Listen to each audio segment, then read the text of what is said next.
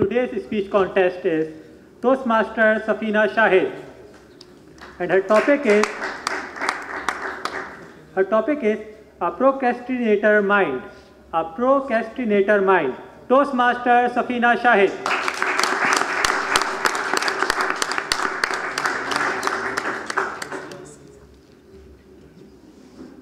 Distinguished dignitaries, fellow Toastmasters, and dear guests. It is July 2017. The next batch for CA final examination has started and the exams are in December 17. So I have one, two, three, four, and five months to prepare. I sat down to plan my stuff. From a two-hour study schedule in the first month, escalating gradually every month to a six-hour study schedule in the last month, just like a staircase. One step at a time, each step going higher. How difficult could it be? No big deal, right? But then the funniest thing happened to me.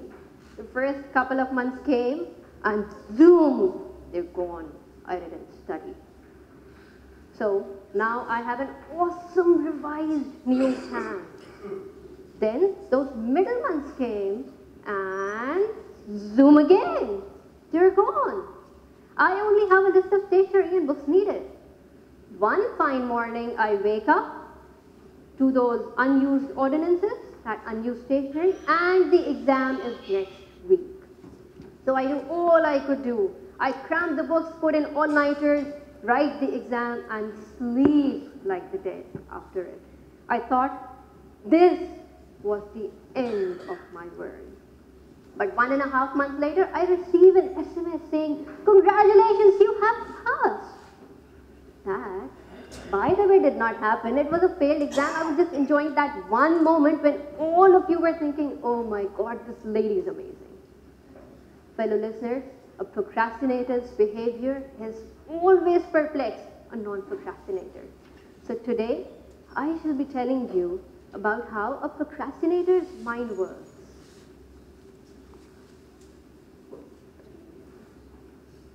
This happens when you procrastinate, actually. So, when, uh, when you put together the brains of those two people, you come across the fact that they both have a rational decision maker. But my brain has an additional character, that instant gratification monkey in it.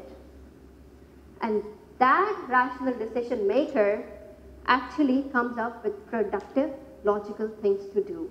But that monkey does not like that plan at all. So he was like, okay, let's watch an episode of Game of Thrones first. And then we'll read all those articles about the latest Bollywood weddings happening. And then we'll go and peek into the fridge and see what's new in there from 10 minutes ago. After returning, we'll watch another episode of Game of Thrones because the last one ended at a critical point. And I cannot focus until I know what happened next. So, Mr. RDM, I'm really very sorry. We are not studying today. Ladies and gentlemen, this instant gratification monkey is not the type of guy that you want steering your brain. He lives only in the present with no memory of the past, no knowledge of the future. He knows only two things, easy and fun. Now, if you are living in an animal world, doing nothing, just easy and fun, you will be a huge success. But if you haven't realized, let me tell you, we are all in an advanced human civilization. And that monkey does not know what that is. And which is why we have this other guy, the rational decision maker in our brains, who will tell us what to do and what we can do that no other animal can do. Visualize the future. See the big picture. Make long-term plans. This is what he wants to take into account. Doing the right thing at the right moment. Now, at times, it makes sense to be doing fun and easy, like when you're going to bed, you're having your dinner, or enjoying the well-earned leisure time.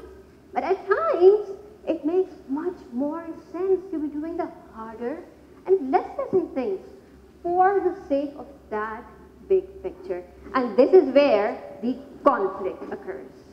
A procrastinator, when facing this conflict, tends to fall the same way every time. Pleasure activity.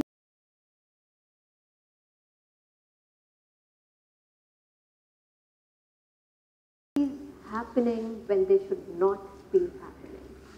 So, the million dollar question now.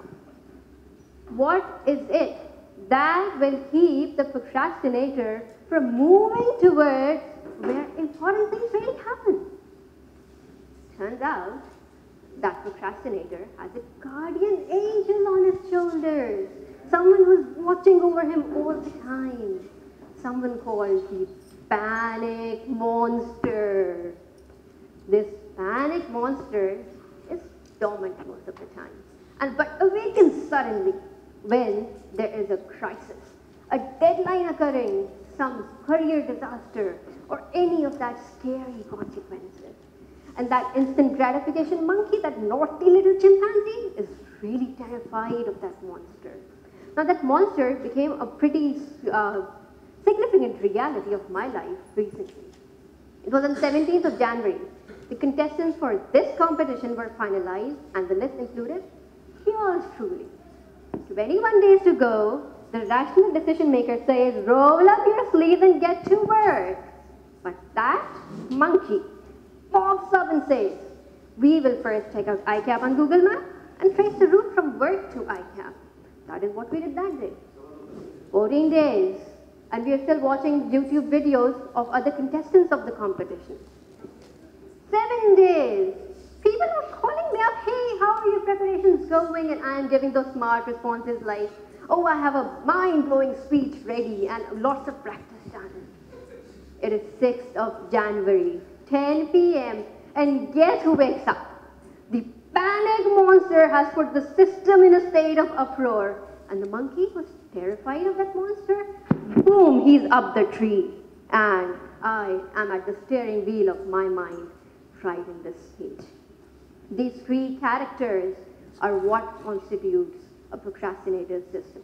It is not a pretty picture, for sure, but in the end, it works. It worked today? Over to you, contest.